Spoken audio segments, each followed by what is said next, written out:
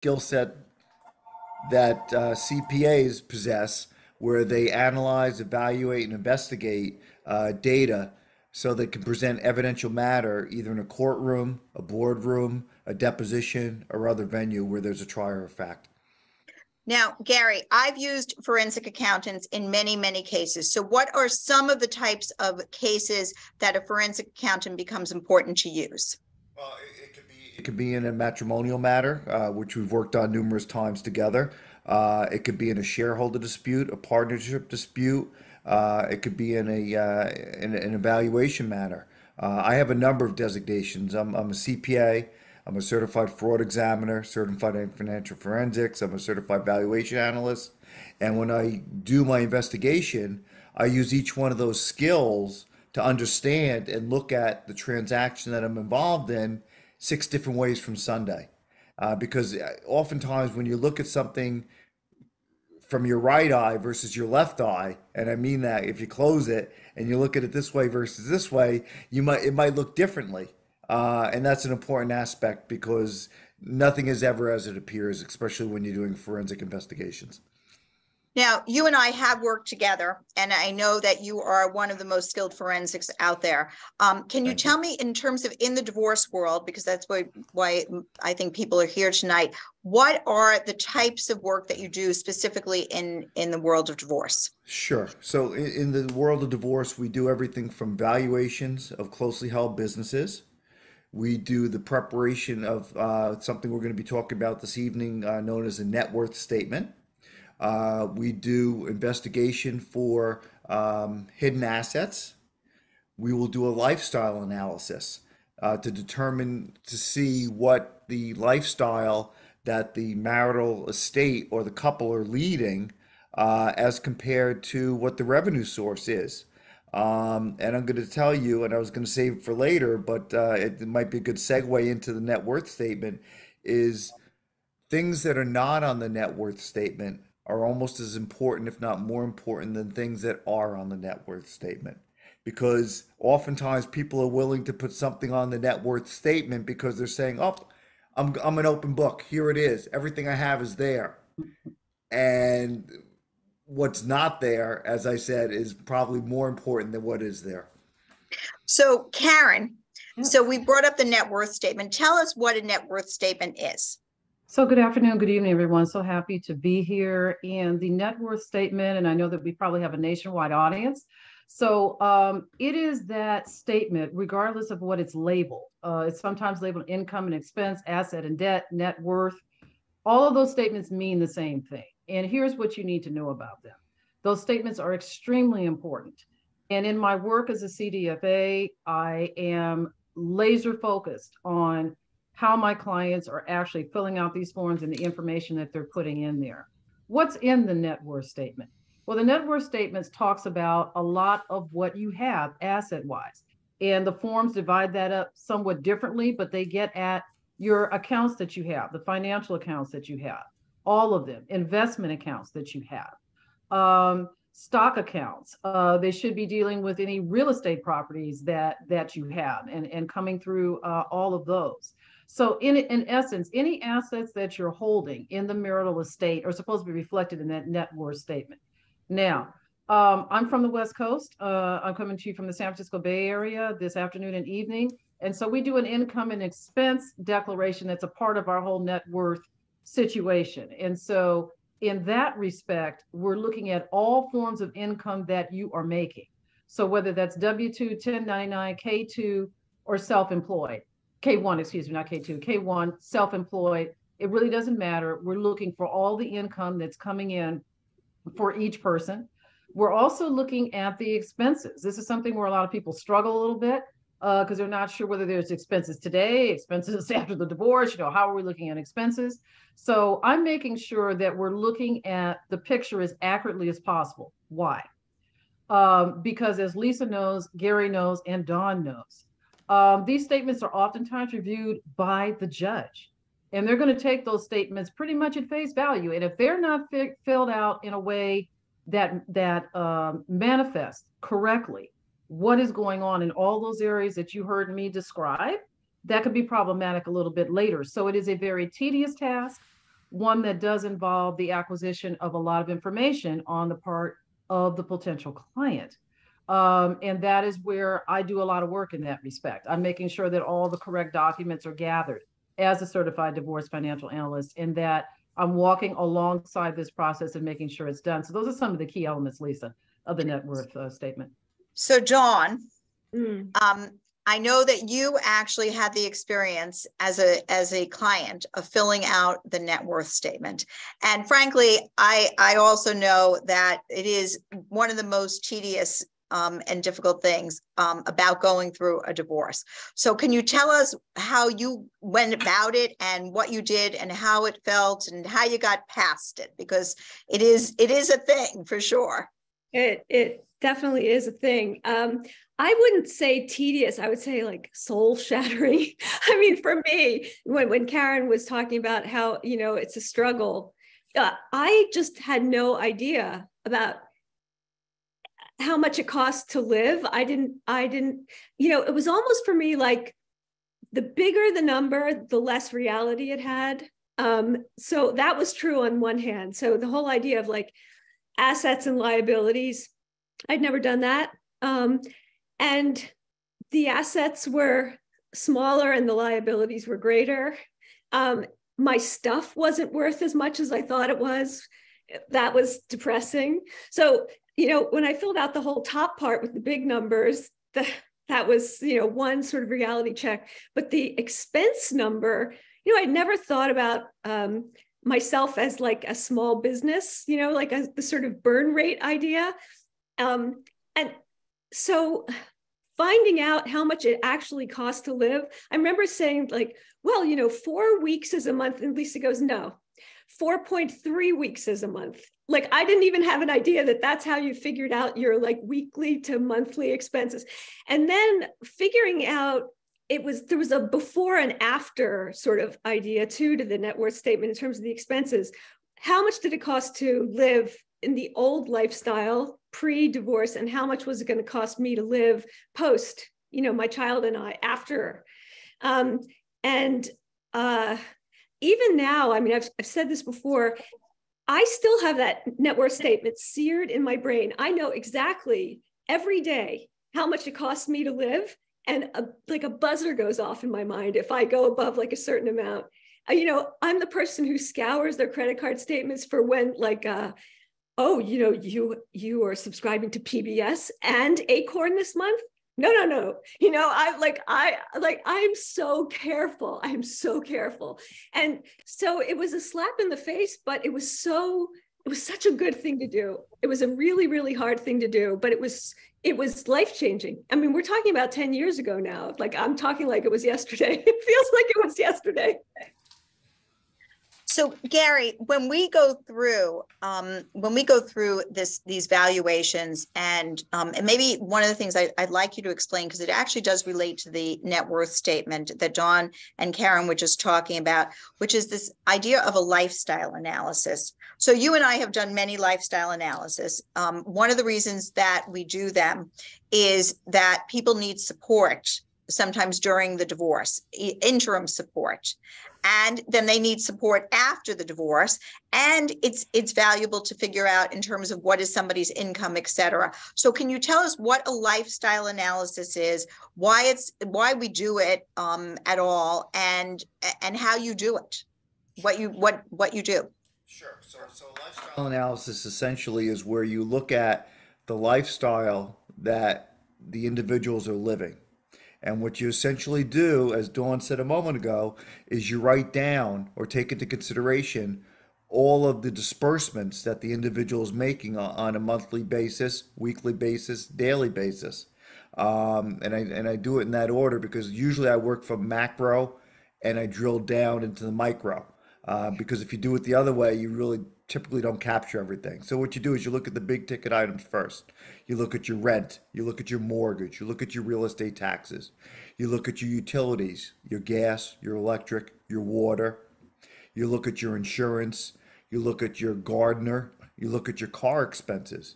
And when you look at your car expenses, it's not only the car itself, your lease payment if you have it, it's the repairs, it's the um, insurance, it's the gas that goes into it, and it's the other attributes. And what you do is you come up with this this value of how much you're spending. And oftentimes, and I have this more times than not, the value that most individuals are spending far exceeds the amount of revenue that is coming in. So that's telling me two things. Either they're funding their lifestyle through debt, or the spouse or the other individual is not sharing with them all the income that they're earning. And that's why one of the things I was going to say earlier, and I don't recall if I said it or not, but the, the, the net worth statement, which is basically all the assets that you have, those are good things, minus all the liabilities, gives you your net worth. But that net worth statement is a living, breathing item and it changes. The net worth statement that you do on the beginning of the month might not be the same as the net worth statement that you do at the end of the month. And that's because there's so many different attributes associated with it and the value of those attributes are changing at the speed of light. You know, we have things today that people are investing in. Lisa and I were involved in a case several years ago where the gentleman called himself the king of crypto.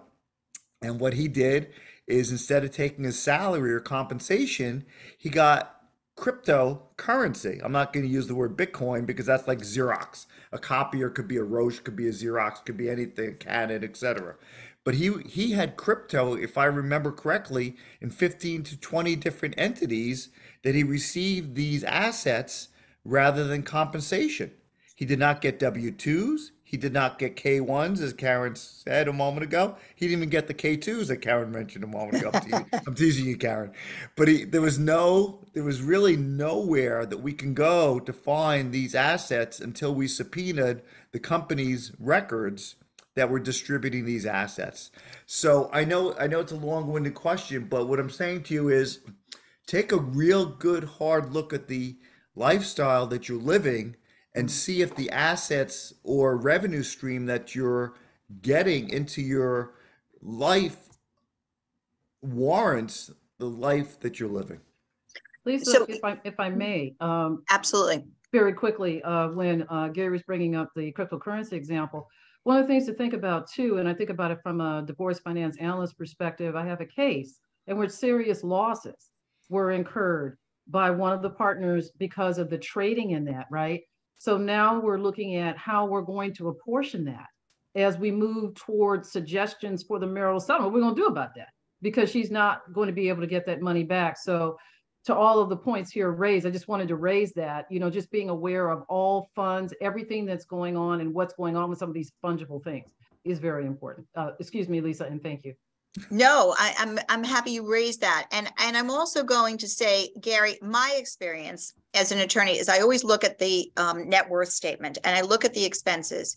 And sometimes somebody is saying, to your point, that their income is very low, but their expenses are very high and there's no debt on the net worth statement. So what does that tell you at that moment? That's like a red flag, isn't it? Absolutely, without a doubt. Without a doubt. And the, and the net worth statement can really be a roadmap for other things. And what I mean by that is they might not put down all the liabilities that they have. They might not put down all the credit cards that they have that are out there. Um, but it's interesting because I was involved in a case a few years ago where the net worth statement did reveal a loan that the individual had. And what we did is we subpoenaed the bank and got the personal financial statement that the individual submitted to get the loan. How rosy do you think that personal financial statement was compared to the net worth statement that they purported in the divorce? It was Exactly. it was like reading two different two different books It- with two, diff- indeed, with, with one two of- different endings. two different endings. And, and one of the things that I get involved in is I make sure that we're pulling credit reports. And the um, a tax return is a treasure trove for me uh, of looking at things that maybe aren't divulged uh, and things that uh, people didn't know. It's it's quite it's quite the investigation. Absolutely. So Karen, talk to us about that because um, one of the things that as attorneys we do and we really advocate for is the discovery process Yeah. in conjunction with somebody like Gary being on the case as part of our team and even you know without okay we we do quite a bit of discovery what is discovery can you explain what that is Karen Yes, I can. Um, discovery is the way that um, family law professionals and sometimes on the civil side as well, but it's it's it's the um, the gathering process, and that gathering process can take a little a few different iterations. It can be done in a question and answer uh, scenario uh, with your counsel together with a court reporter. That's called a deposition. Uh, it can be done in writing wherein questions are developed and sent over to the other side. And maybe uh, you can be the recipient of them from the other side as well. There's an exchange of this information. But questions are put together in an, in an attempt to uh, define and discover uh, relevant information and data that's important uh, in moving the case forward. So that's done in writing.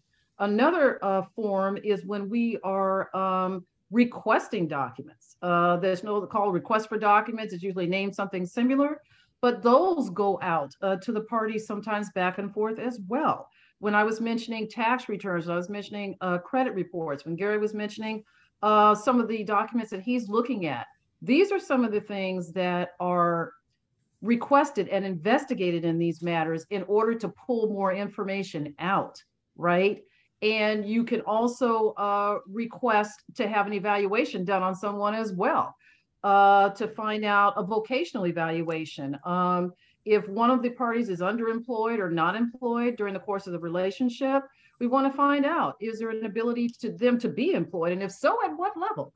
And so uh, those are other, another discovery tool that can happen in order to sort of stabilize that conversation. So those are some of the ways uh, that people can think about uh, the discovery process, Lisa.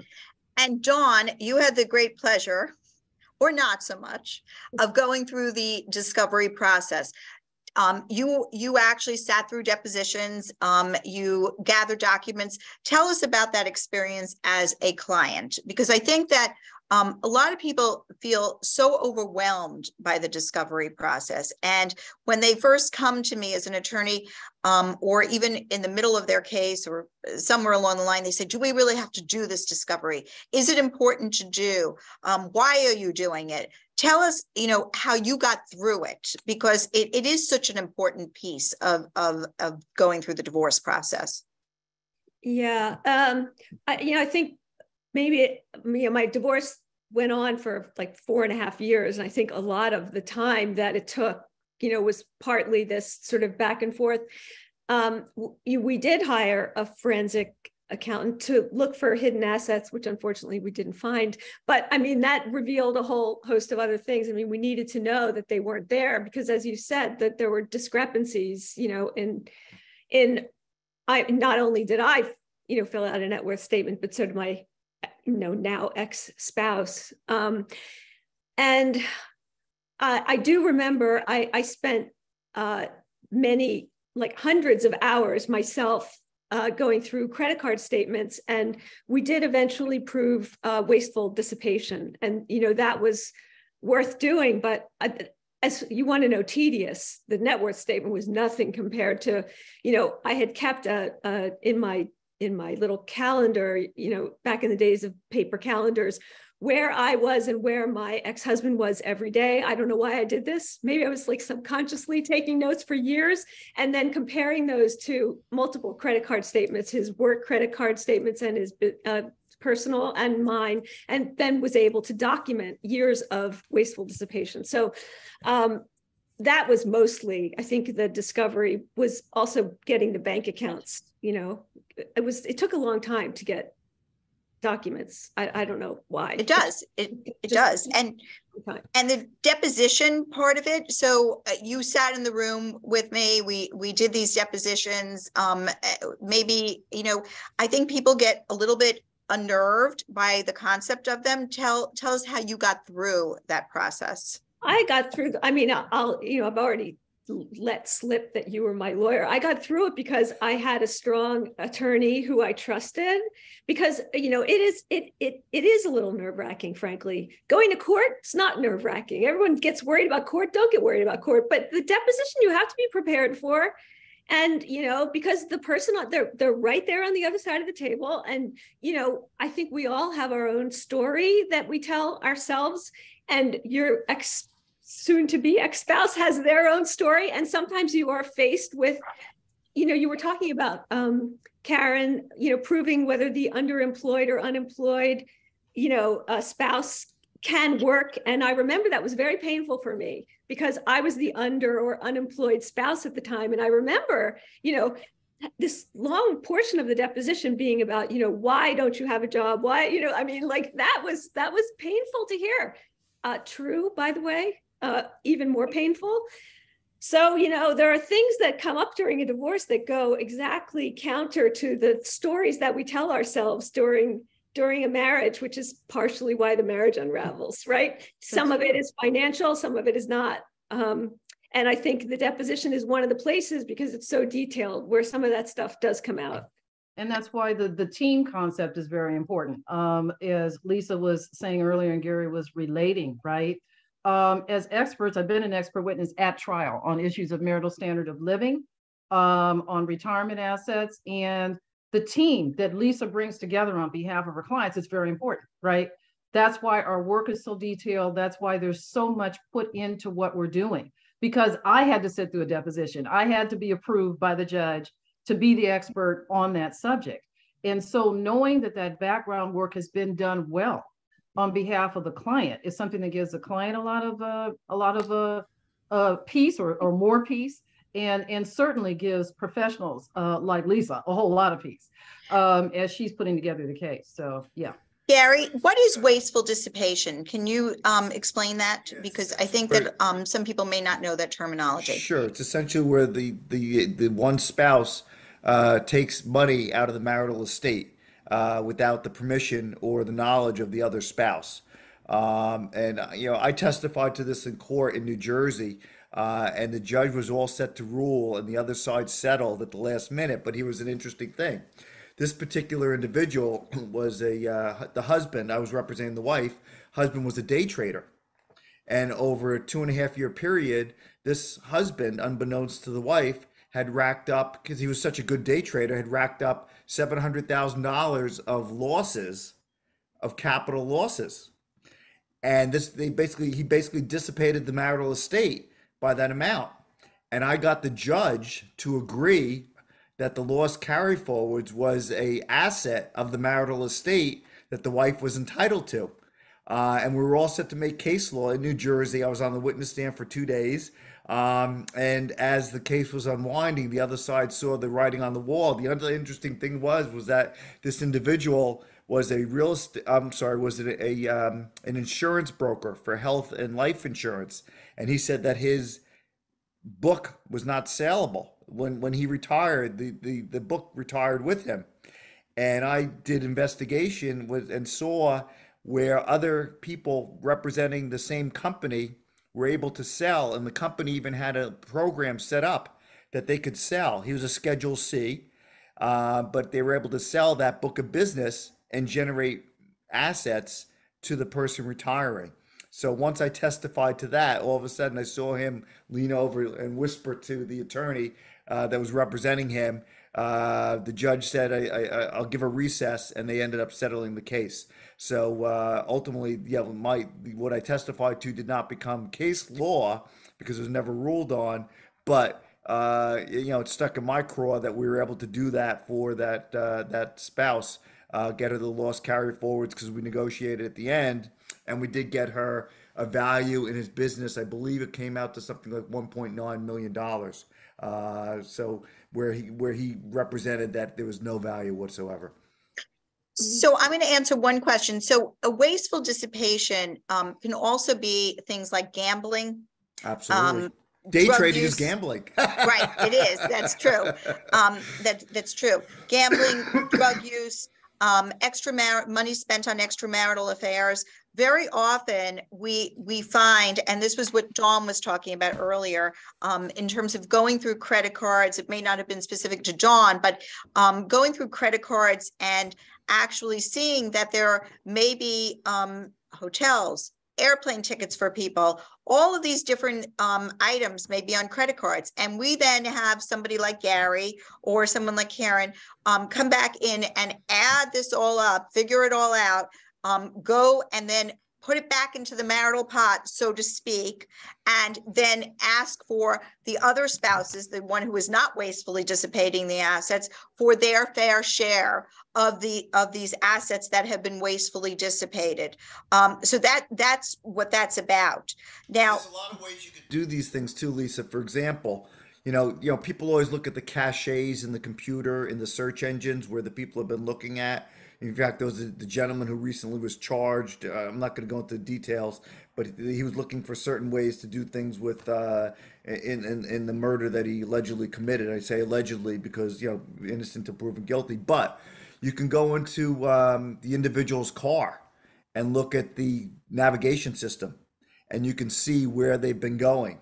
You could look at the odometer and you, if you know that the person goes to and from work, but you all of a sudden that they're 50 miles more on the odometer uh, than there should have been. Uh, you can cross check that to the navigation system. Most people do not erase that navigation system. They don't even realize that it's stored in the uh, in the car. Uh, a lot of people are using um, Waze now too. If you can get to the spouse's phone, you can go into the Waze program.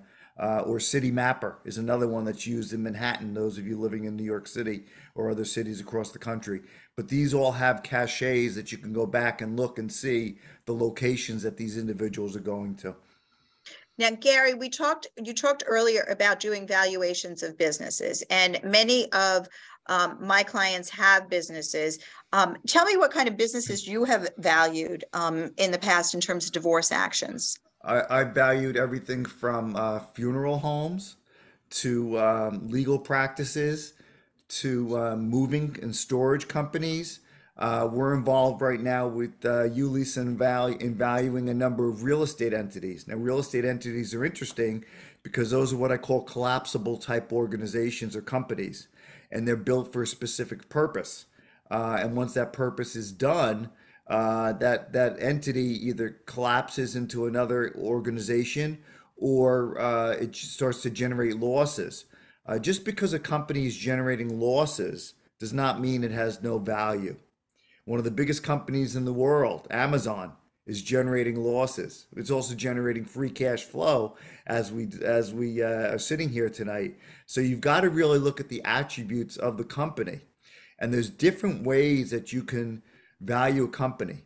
You can either value a company based upon the historical earnings of the company or you can base it upon the projected cash flow of the company. I was involved with the, with a individual who was going through a divorce one time who was a um, owned a security company, a bouncer, uh, and he he had, he he had all these high end clubs.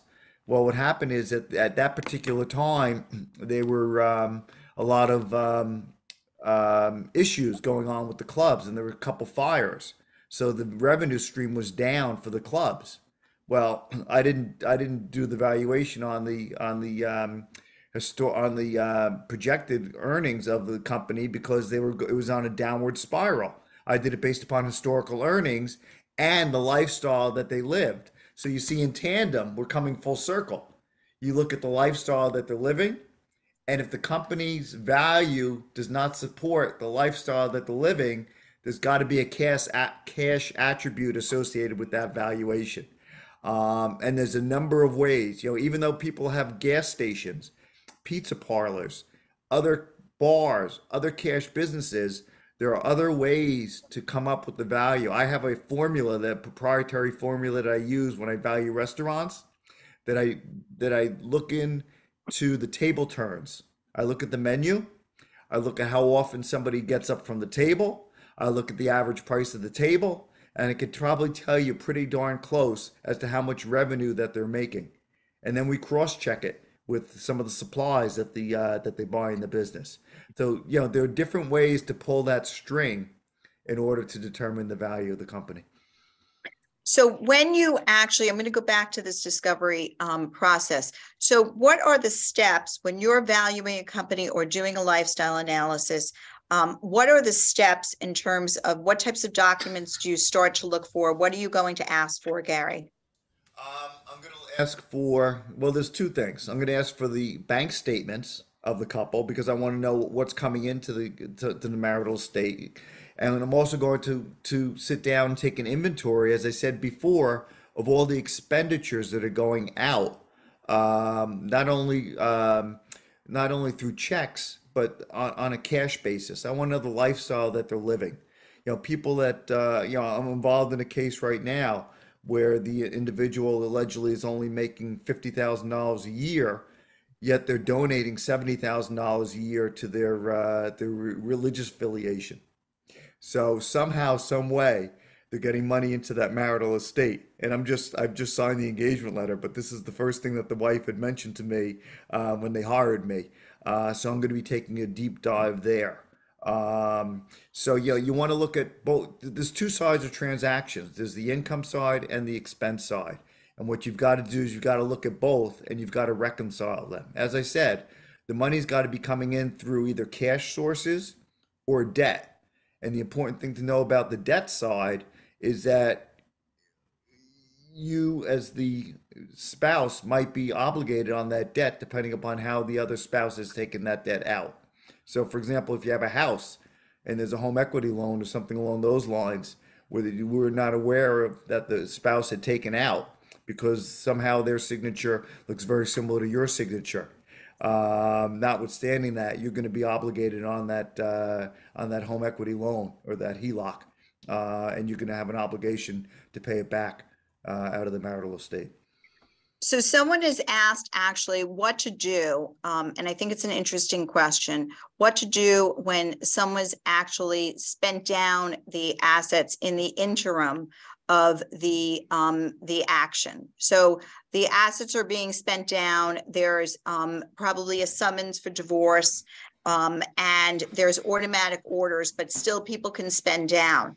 And um, I'm going to say that it may be time to make a motion to the court to get relief from the court or to have a judge decide how much should be spent um, on a monthly basis by each person. So that that is, is the way to, to deal with that perhaps. Now, Dawn, um, what what does emotion mean and what is entailed? Shouldn't you say what emotion means? Well, I can say what emotion means from my point of view. So it's where we make an application and we draw up an affidavit and sometimes we draw up case law for the court to review. And sometimes we involve somebody like Karen or Gary, okay, to actually put their um, affidavits in as to what the lifestyle analysis might be, um, et cetera. But the client has to feed us the information about their life, right? Because you know everybody's story is different everybody's background is different so tell me what went into um to doing this actually um dawn I, I do remember this sort of motions like as being like the nodes of the divorce. Like those were when the sort of main things happened, not so much court appearances, because we we very rarely ended up going to court. And when we did, I mean, it was only in connection with a motion you had made. Most of the time, those just were exchanged you know as as pieces of paper that were just sent over but i do remember like for example you were talking about an answer to the question in the chat about, you know, it was time to make a motion to the court about how much each party should be spending. You know, for for me, I, I mean, I remember one of the most important motions was for pendente lite, right, which was this sort of temporary support that I got in in the interim before the case was was finally, you know, decided. And that interim support motion was the most important thing that happened I, during the entire process before the divorce was finalized. Um, and we had to file all sorts of motions. I mean, for example, my uh, now ex-husband changed lawyers. I remember, um, so there were motions associated with that. There was um, attempts from his side to get me to spend money that was in escrow, right? So that was a whole big exchange of motions. There, there were times when he was not paying uh, support for my for my son. So there, there were motions for that. I mean, there. So motions are the sort of ways that the lawyers on the opposing side do battle in the meantime and try to push the the process along. Um, and you know, if you can do that successfully, you can resolve the the case without going to, to to trial, right? I mean, that's that's the way that's the way it works. So those are really you know the sort of building blocks as, as I saw it. But- I, Dawn, I wanted to highlight one of the things that you said for the pendente lite support. Um, coming back to the net worth statement um, that I talked about earlier, that determined your temporary alimony. Okay, that was your temporary alimony while the case was going on. Yes. So that's why the preparation of these net worth statements is so key. Okay, that is a consideration during the motion uh, hearing for attorneys like Lisa. It's there. Okay, and that's why you need the care because that is what was determining the money coming into you while the other issues were going. So I just wanted to show what the complete circle of that was Right. when you mentioned pendente lite. So And yeah. I'm going to expand actually that, Karen, a bit, because um, one of the things that Gary's firm has done for, for many of my clients is this lifestyle analysis that actually um, further enhances the net worth statement. So um, Gary, why don't you explain um, how that actually works with the net worth statement, the pendente lite motion for both support and for legal fees because and expert fees. I mean everybody's you know look I, i'm going to say this that you need lawyers you need experts you need a team of people. And sometimes not to hire them. right right you can't afford not to hire them. That's exactly right. I, hmm. that's 100% correct. And and in order to have these people sometimes you don't have control of the finances.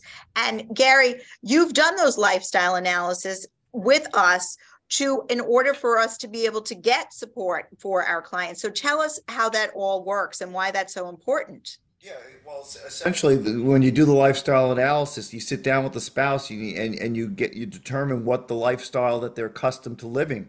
And typically, what happens is the other side will say, "Well, uh, you didn't do that before. You didn't do this before. You didn't." Well, you know what? It's possible that they didn't, but you know what? This person might be working now a full-time job, and they didn't have the luxury. They, you know, they they don't have the luxury of of being available for the kids when they were there. So now they need after school care. Now they might need some counseling for this for the children that they didn't have before. So things change. I said before that the net worth statement is a living breathing animal. Well, the lifestyle analysis is also a living breathing item because as your lifestyle changes, so do the expenditures that you need in order to meet your obligations as as a parent. And that's really what the bottom line is what here. What you I want to be is the best parent that you could possibly be based Absolutely. upon the circumstances or hand that you have been dealt. And one And I always say the that- same thing. I said it last time. I'm not going to change it. Knowledge is knowledge is power, and the more knowledge that you have as to the finances and and and get a control of what you're doing um, for your children, uh, the more powerful you are as you go through this process. I'm sure, Dawn, that you you saw that when you did it. That's why you wrote down everything that you did, and you That's keep good, such good track of the expenditures that you had. And I, I would say on the professional ahead. side, um, uh, Lisa, on the professional side, I'm just going to back up what he's saying. Um, since we have a, a nationwide audience tonight, the issue of alimony and support is handled differently across the nation, right? And so relying on your professionals like Lisa to guide you in what is required in, in the intensity with which it's required, because a lot of these documents are used differently across the nation, right? In terms of that lifestyle analysis, temporary, permanent support, the support you may get after uh, after the divorce is final, the judge does it. So that's why all these documents are really key in understanding how they're applying in your particular jurisdiction, in your particular case. That's why, as Lisa said, you can't afford to not have the right professionals um, because you need to know how those things are being handled. Uh, Lisa, sorry to have interrupted you. Just want to No, I'm I'm happy that you did, Karen. And and you know, it, it brings me to back to Dawn actually. So Dawn, um, you were out there and, and some of our, uh, you know, the people on here may be contemplating divorce, maybe, um, in some other stage, but at the very beginning, um, you had to find your team. So how did you go about doing that? Uh, yeah, I mean, just I'll preface that by saying, you know, I think it's very difficult to ask for help. I mean, and I think a lot of times, like for me, I was in an unhappy marriage for a really long time, and that entailed keeping a lot of secrets and pretending that everything was okay. For and I so I think um, it was uh, you were the first person that I came to, um, and uh, I actually found you uh, online at two o'clock in the morning.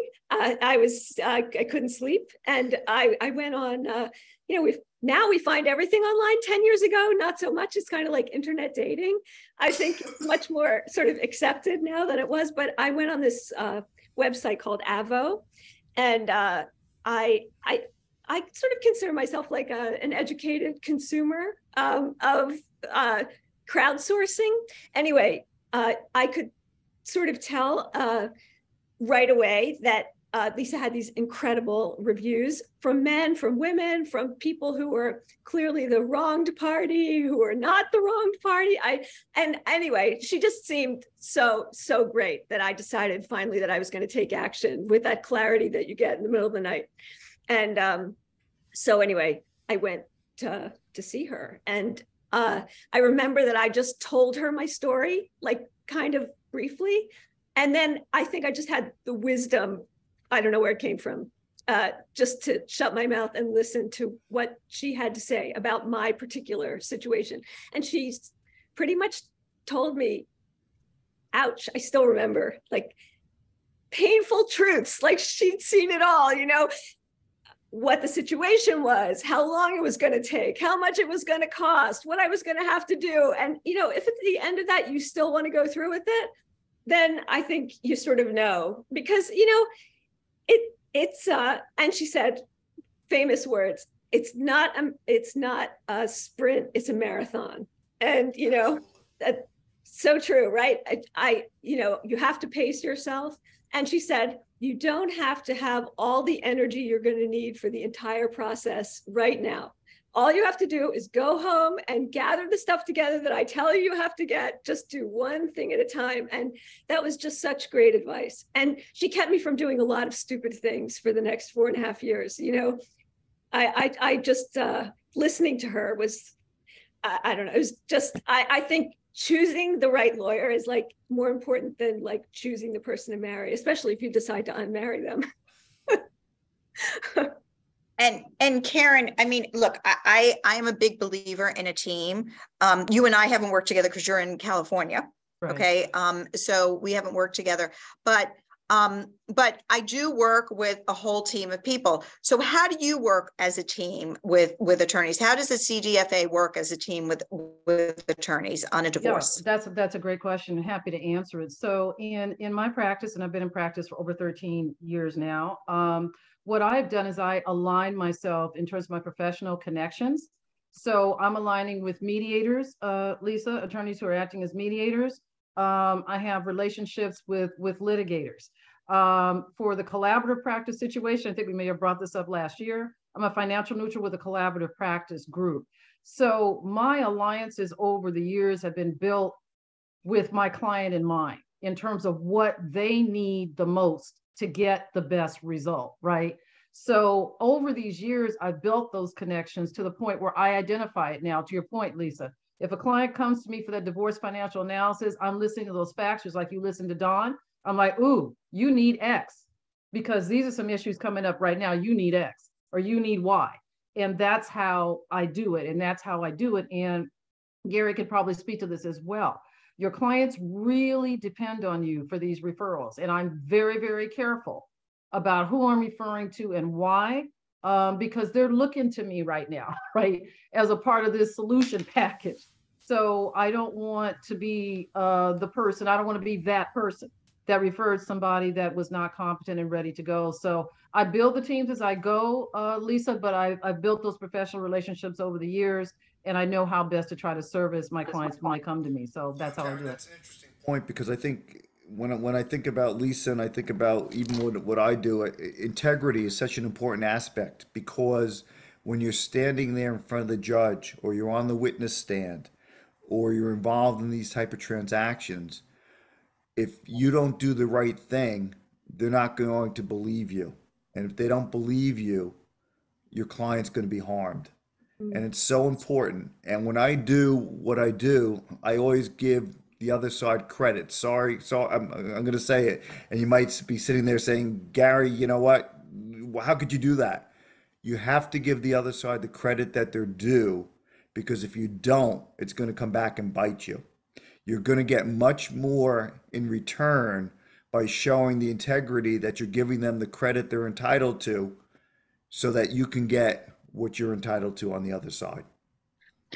Gary, I- I- wait, go ahead, Oh, Dawn, sorry, go was ahead. say, I, I always forget to mention, and I really should not, that the child advocate in our case was incredible. And he was such an important part, I mean, of the, he, he was, I, I just, I can't think of him without like choking up. He was, he was also, and we, we did use a forensic accountant also, you know, I mean, it is true that it, it takes, it takes a village, no, no question. I just, but I just want to, I just want to say that having a good child advocate is, is, is just uh it's so And- important And when you say child advocate, you mean the attorney for the child, correct, Dawn? yeah Yes, okay, because we, what we do in, and I don't know what it is in California, but in New York, we call them attorneys for children, and they advocate for what the children wants to do. And um, I will say that people are often very, and it's good you brought this up, because people are often very frightened at the idea that their children are going to have an attorney and that their children are going to meet with an attorney, et cetera. But I will also say that um, it, it really does um, I think it, it has a positive effect on so many children um, because they are having their voices heard through through the process, and they know that things are going on, and they know their parents' voices are being heard, but they need to know that their voices are sometimes being heard as well.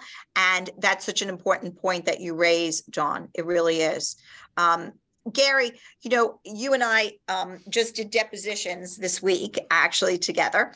And um, I, I kind of I want to go back to what a deposition is because I think that um, so so a deposition everybody gathers in the room everybody who is everybody? It's not the court it is the parties meaning the husband and the wife or the husband and husband or wife and wife and they gather in in the room with a reporter who is taking down everything that's said and a lawyer who is asking the questions of the other spouse and their and the other spouse has their lawyer. So there's usually um, at least like six people in the room.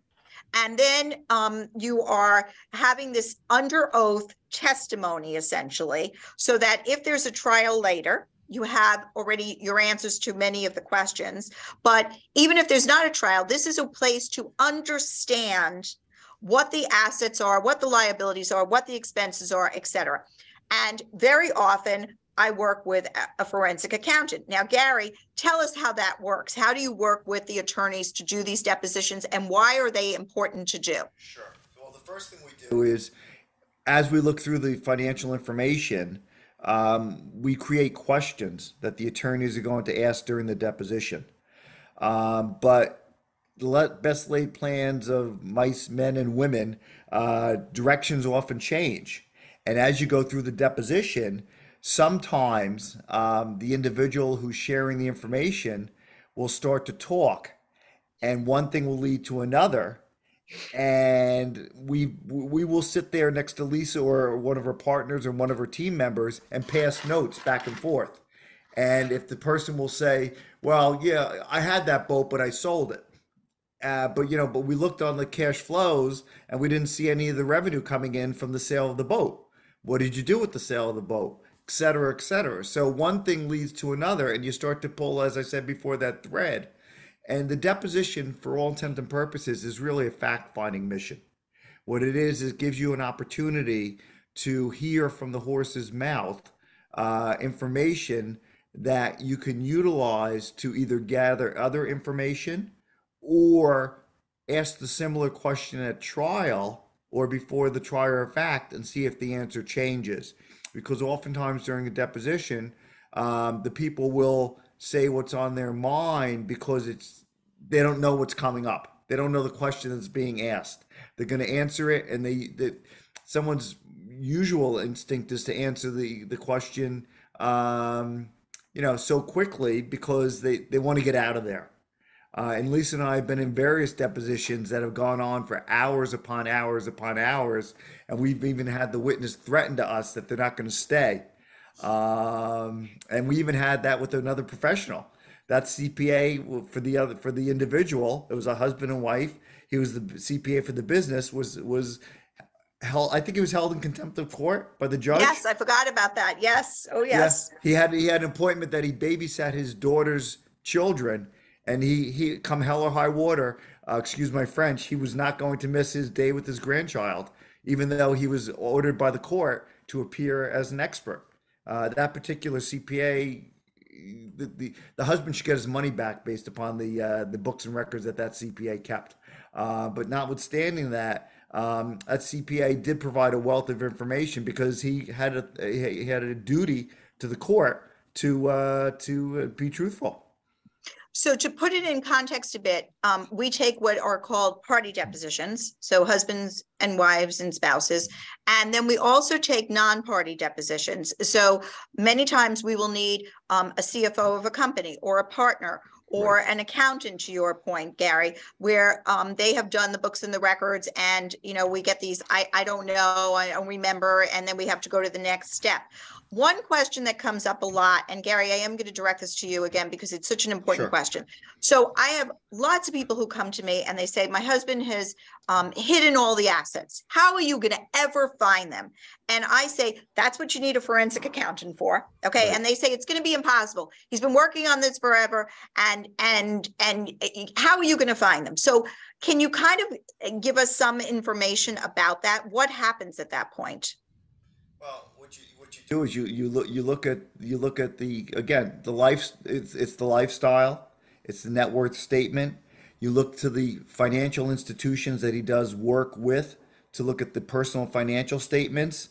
You you interview the people in the office that he works for, the CFOs, the bookkeepers, um, the secretaries, the other individuals that they work with on a daily basis because they really know where, for all intent and purpose, the bodies are buried uh, and they probably know more than the spouse um, you know, on a daily basis. Uh, yeah, we're involved in a number of transactions where, um, where, and, and Lisa, going back to that one where the CFO was allegedly a partner in the business, um, and then you know, but it turned out the he's saying he was only a partner on paper. So now we got to get the, the tax returns for the CFO as well as the entities that this individual uh, owns. Um, and you got to look to family members too, because oftentimes when we're involved in these types of transactions, the family members are fueling um, the operations or the lifestyle of the individuals during the marriage. So it, it, it, it's very, very difficult. And as I said before, there are a number of ways to do it. If you if you can't get it from the income side because it's a cash business, you look to the expense side. And we've subpoenaed delivery records from from um, from uh, gas suppliers. We've subpoenaed delivery records from box manufacturers because they're the ones that uh, that the product is put in when they sell them to third parties. We we we we we've gotten records from credit card companies uh, that show all the transactions that go on. So you know, it what it is is essentially, as I said before, it's a roadmap. And what you've got to do if you if you go down one road and it doesn't lead somewhere, you try and pick up enough information that you can utilize it as you head down another road. And it's a journey. It's going to take time. Don't think that it's going to be done in a short amount of time. Are there are there uh, matters that get settled quickly? Sure, no doubt about it. But for all intents and purposes, if if if things are being hidden, it's going to be a much longer uh, road to go down. And, and the question, I guess, Dawn, um, yours took a long time. I mean, and so I, I always say that the hardest part is the stamina portion of it, having the stamina and the staying power. And what are your thoughts about that? Well, you know, we were talking about the the motions, and I, you know, there were lulls in between. and you know, I think that for me, I like I, you have to take advantage of those. You know, you're not thinking about your divorce like 100% of the time. I think you have to, you know, uh, for instance, I mean, I wrote a book during my like separate, you know, the whole separation period. I and I also think that I, I felt like I sort of had a duty to my child to try to keep things as normal as possible. And so, you know, you want to keep your life, you know, you do the work because divorce is work. I mean, it was like having a second job. I mean, uh, so you do the work and then you let it go and you trust your lawyer. And then when you have more work to do and the motion is, you know, there's a counter motion, you deal with the, I mean, I just felt like it was cyclical. So uh, that's sort of how I kept my sanity. You know, you think, oh my God, you went through a divorce for four and a half years. It didn't feel like four and a half years straight. So um, it's like it's like a marathon that you run in stages. You run and then you rest, and then you run some more. That's that, true. that's, and, and that's how the information comes too. It comes in waves, because some oftentimes you you get it, you digest it, and then it might be it might be two to three months before you get something else. Yeah. And it, and, and you know it's ebbs and flows. It's ebbs and flows. so there's some questions. So I'm gonna do um two things. I'm gonna ask you each for um two takeaways, each of from each of you as to what people should know about this process.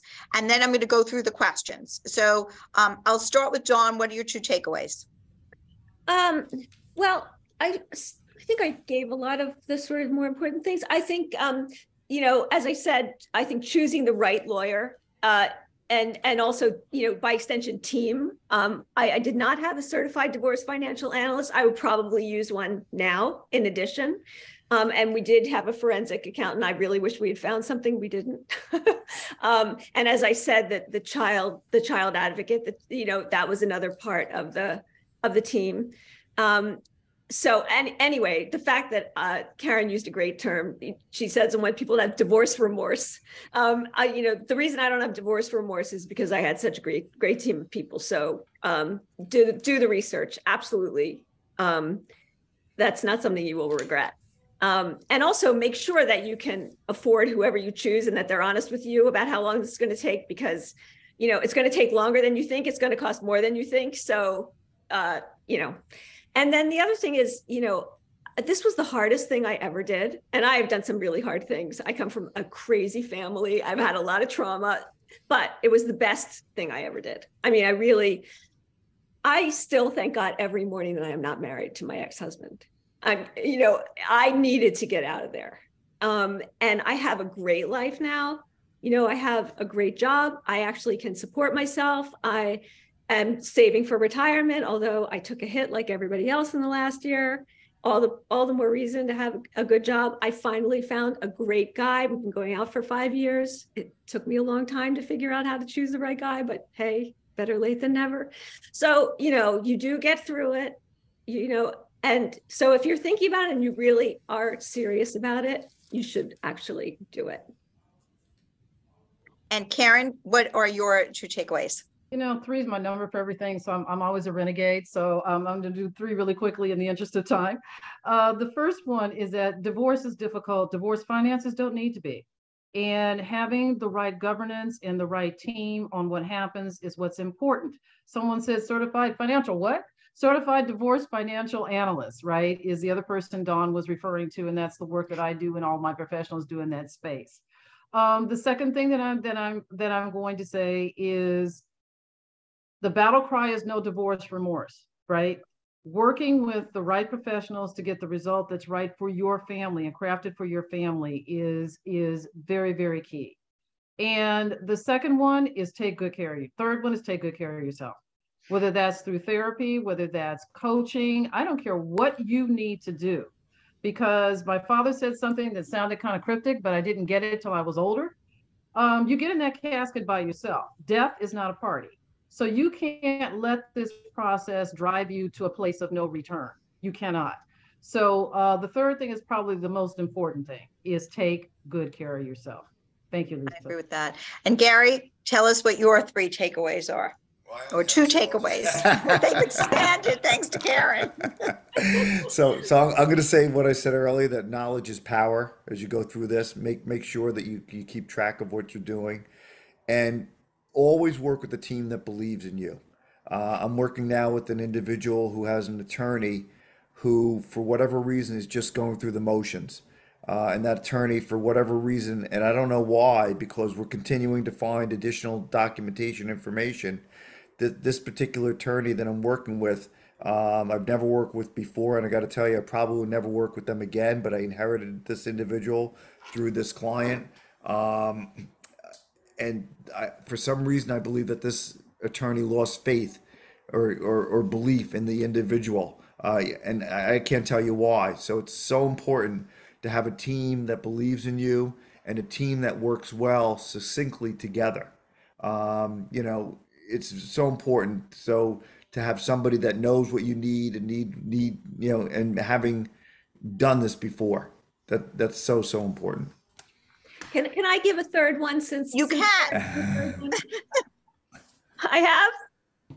go, go for it. Oh, well, I just wanted to say that I, the thing I'm most proud of is, is having insulated my child during this process and also having fostered a relationship with his father. It was not easy. Um, and so looking back, that's just, I, I, I think that's just really important to mention.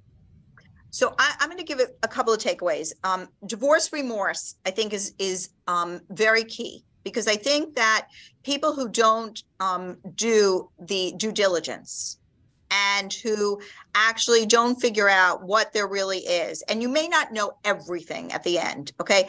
But if you don't actually go through the process and and make the attempt to figure it out, you may end up years later having that divorce remorse, and you can't fix it later. So that that's number one. And that's why it's so important to have the team, to have the CDFA, to have the forensic accountant, to have the attorney for the child if it's appropriate, to have all of those pieces in, in place because there's no going back. This is like your shot to do it now.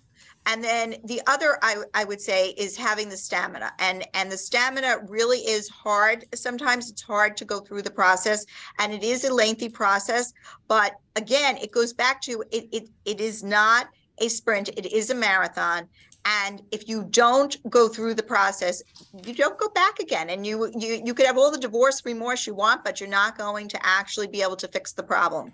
You've given up the assets at that point. You've given up the support that you could get. You you have walked away from it. There's no going back because it's final. bites at the apple That's right. There's no more bites at that apple. That's exactly right. So I, I think that that's a very key, um, key thing. I'm going to actually, um, go through some questions, um, by people. So, um, this person actually has said, we have properties, um, and businesses that I know, but they're titled under, um, my husband's name.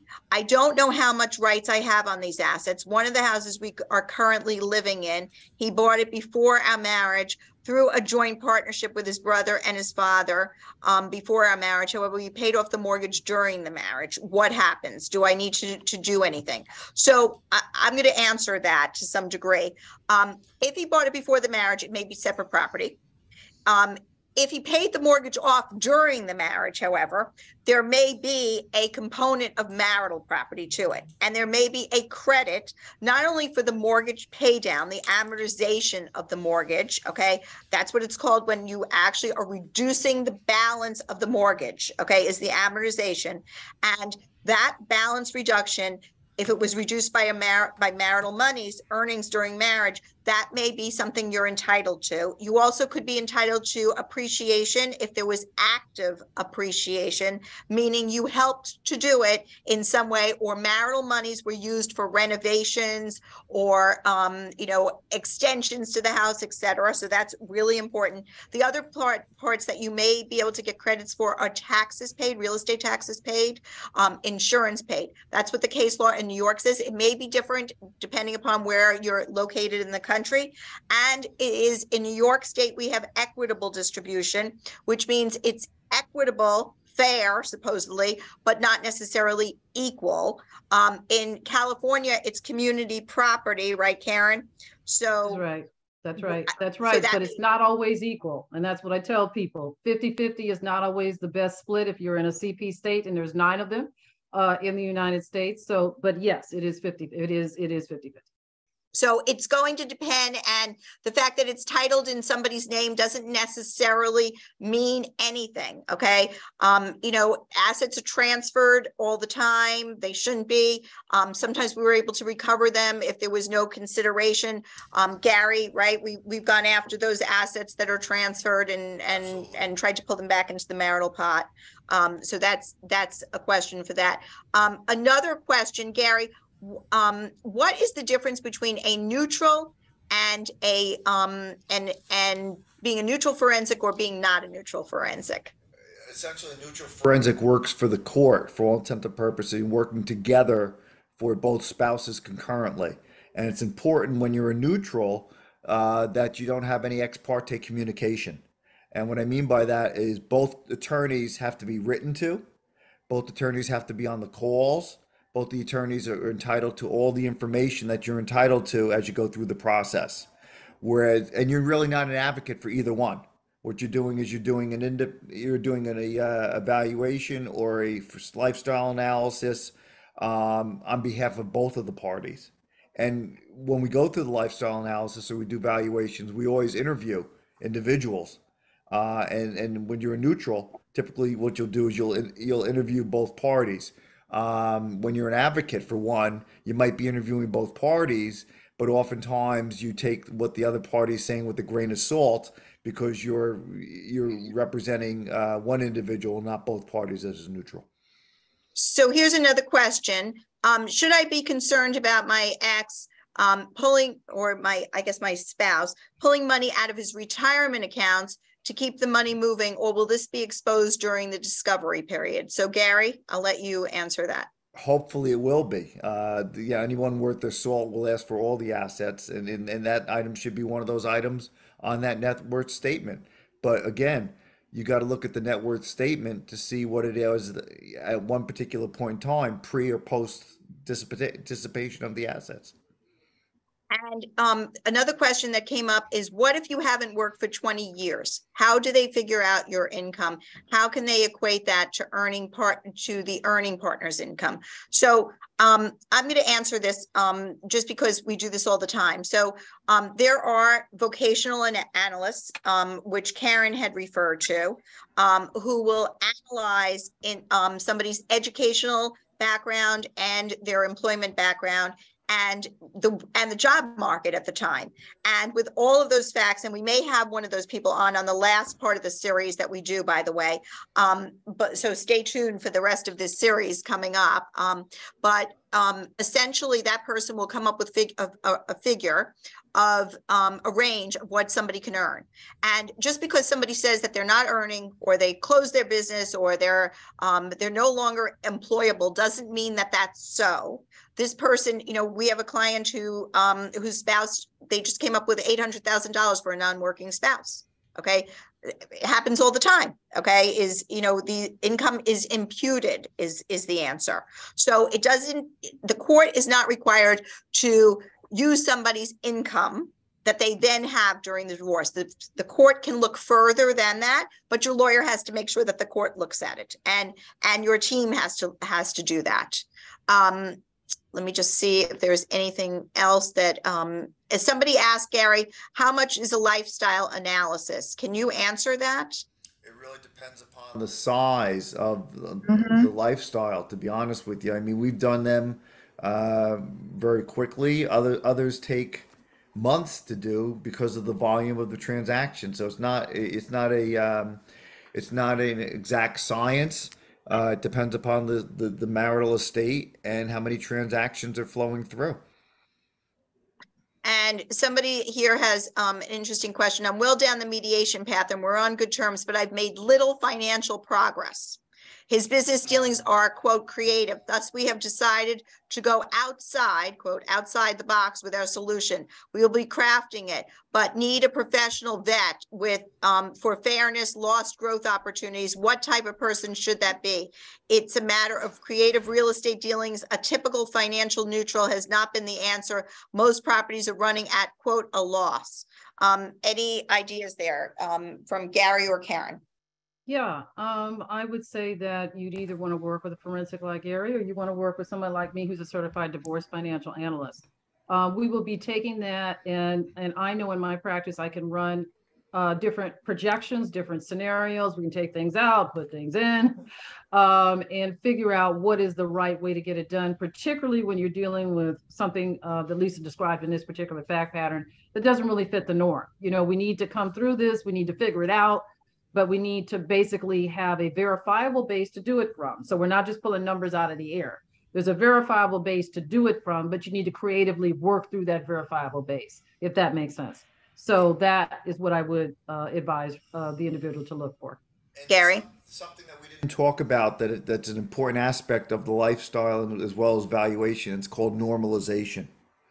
And what happens is when you do when you do a value a business, there's oftentimes either related party transactions or there are things that are in the business that are not similar to other businesses that would operate uh, the way this individual's operating them. So, for example, they might own the real estate where the business is being operated at, and what they're doing is they're giving a favorable rent uh, uh, expense uh, to the business because it's going from one pocket to the other, and something called depreciation that will shelter that income. Well, if we normalize and put that rent at market rents, the value of the building, rather than being $2 million, might be $5 million. So normalization is an important aspect of any business, uh, and you've got to look at um, not only the related party transactions, but you got to look at the compensation of the officers. Uh, they might be getting out perks. I have one one business that we added back. Uh, I believe it was a half a million dollars worth of perks to the individual's business. He had a, he had an apartment in Manhattan. He had he had a uh, a an apartment that he put his paramour up in. He had uh, two cars on the business. He, he, he uh, each each of the meals that he went to five nights a week was charged to the business, et cetera, et cetera. So it's very important when you're doing evaluation, and there are losses in the business. You got to look and see really why are there losses? Are there losses because they're non-cash items, or are there losses because they're draining the business that have to get normalized and added back? So the value of that business, rather being X, could be X times two or three times. That's true. And to answer to back up Lisa and also Dawn, uh, when you're looking at places, there are places to go to look for these professionals that you can look for your attorney to really guide you. For CDFAs, you can always look at the Institute of Divorce Financial Analysts website. Uh, I'm on the board of advisors for my, that's my certifying organization. I'm on the board of advisors for it currently. Um, and so you can always seek a CDFA there. And of course, professionals such as Gary are well known to the attorney community and also uh, have their professional um, uh, places as well if you're looking to kind of build those teams and try to do the research that Dawn was referring to earlier. Right. I'm going to add one thing because it was mentioned earlier, um, subpoenas. And I, I just want to address subpoenas because, um, they go back to lifestyle analysis valuation. So lots of times we get discovery and then we do the depositions. And then during the depositions, we hear something that is somebody's put in for a loan application or they had to put in a financial statement. Those are my favorite words, financial statements. Um, because to Gary's point earlier, most people like to put in very positive financial statements to the banks. And um, or when they're leasing a car or or there's a zillion different reasons they do it. And I cannot tell you how many cases we have um, actually prevailed on because of those financial statements. They may, for example, and and Gary knows this. Um, they may have actually said, "Well, I borrowed money from this person or that person during the marriage. No promissory notes, no nothing." And lo and behold, they put in a financial statement. It doesn't have any loans, no loans whatsoever, no liabilities whatsoever. Um, or their financial statement is, you know, twenty, you know, twenty thousand or twenty million more. So you just you you if you are in an action those subpoenas are actually so important. And um and actually that's how we closed the loop on something actually just this week in one of our cases gary was a subpoena that came in and your your people asked about it. So um that that's it for tonight everyone. I really really thank the panel. Um we will judy are you on did we lose judy Judy's there. um Now I am here. Okay, so maybe you could announce what the next two um sessions, next two um dates are going to be for everybody. Absolutely. So continuing in our Get Divorce Sa- Savvy series, and Lisa will continue to be our moderator for our next two is Thursday, February 2nd at 6 p.m. Eastern Time, and then also February 9th at 6 p.m. So sign up. We will follow up with an email to everyone who is registered, and you make sure that you pre-register for the next two panels that are coming up. And I think Stacy Francis will also be on for those two as a moderator as well. Um, and, um, Gary, I, I think you're coming back for one perhaps. Um, maybe the last, I think the last one. We have some very interesting people coming up. Um, we're going to be talking actually to, um, about a program called Our Family Wizard, which many of you are familiar with. And if you're not, um, you program. need to be, I believe that's next week, part of next week's program. And they will be teaching you some very interesting tricks that our family wizard has um, Right. for custody, for um, child support issues, all of these different things. So don't miss that one. Um, and then we again go back to um, dealing with what you do after the divorce and and how you run your finances, et cetera. So there's lots of great information coming up. Good stuff. Don't miss We it. We look forward to all of you coming back. All right. Yes. Thank you, everyone, for joining. It was a great evening. Good Thank evening, you. everyone. Thank you for Thank being you and great questions. Thank Thank- you. Good luck, Good night. everybody. Thank you. Thanks, Dawn. Thank you, Yes, Karen. good luck, Thanks, everybody. Gary. Good night now.